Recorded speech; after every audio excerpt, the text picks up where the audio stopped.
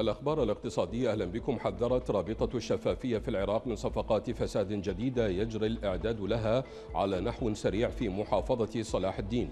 وقالت الرابطة إن الباب الذي لجأ إليه السياسيون المتحكمون بالمقدرات المالية في المحافظة مع المحافظ الجديد هو صرف مبلغ يزيد عن 40 مليار دينار عراقي لأحد المقاولين المشهورين بصفقات الفساد في محافظة صلاح الدين منذ سنوات بحجة وجود ديون قديمة مع أن هذه الديون تتعلق بمشاريع غير منفذة.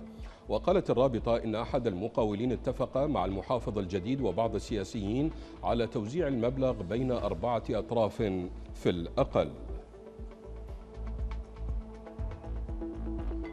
قررت حكومة كردستان العراق تمديد رفع الرسومات الجمركية عن 14 مادة غذائية حتى 30 من شهر أيلول المقبل.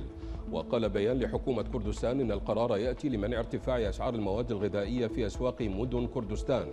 وكانت حكومة كردستان العراق قد أصدرت في السادس من شهر نيسان الماضي قرارا برفع الرسوم الجمركية لمدة شهرين عن المواد الغذائية والحاجات الأساسية مثل الدقيق والرز وزيت الذرة والشاي والسكر.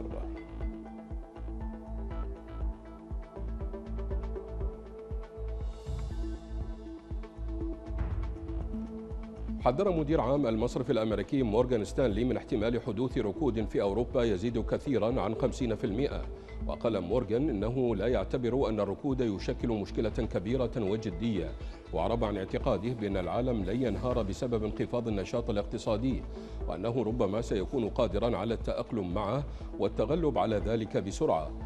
وتابع أنه من غير المرجح أن يواجه العالم تضخما خارج نطاق السيطرة معربا عن استبعاده احتمال حدوث نشاط اجتماعي جماعي قوي تحت تأثير أزمة الطاقة.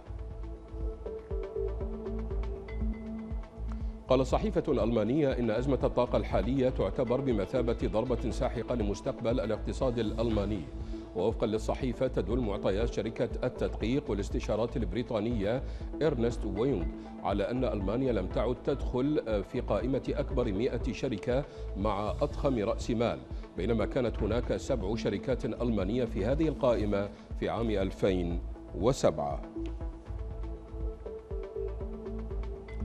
ارتفعت أسعار النفط بعد أن تراجعت التعاملات المبكرة في آسيا لتواصل تحقيقها المكاسب التي حققتها يوم الجمعة إلا أن ما يحد منها ارتفاع حالات الإصابة بكورونا في الصين واحتمال الإغلاق. وارتفعت العقود الآجلة لخام غرب تكساس الوسيط الأمريكي لتسليم آب 34 سنتا لتصل إلى 97 دولارا و93 سنتا للبرميل. كما ارتفعت العقود الآجلة لخام برنت لتسوية أيلول 69 سنتا لتصل إلى 101 دولار و85 سنتا للبرميل الواحد. إلى أسعار صرف العملات الأجنبية وأسعار المعادن.